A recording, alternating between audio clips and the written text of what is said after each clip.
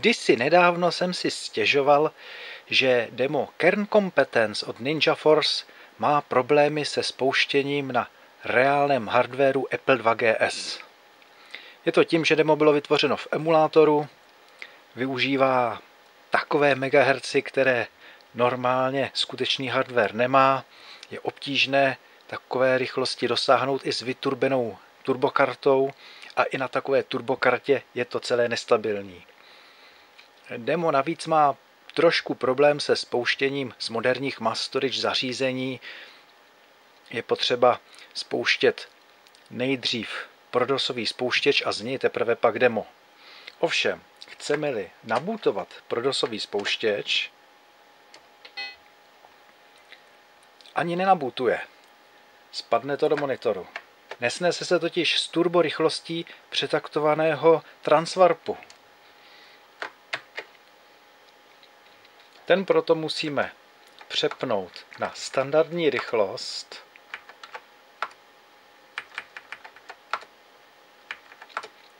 a pak nám počítač nabutuje.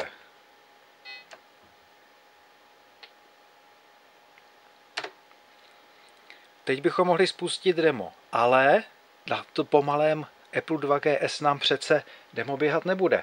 Musíme tedy opět přepnout rychlost transfarpu.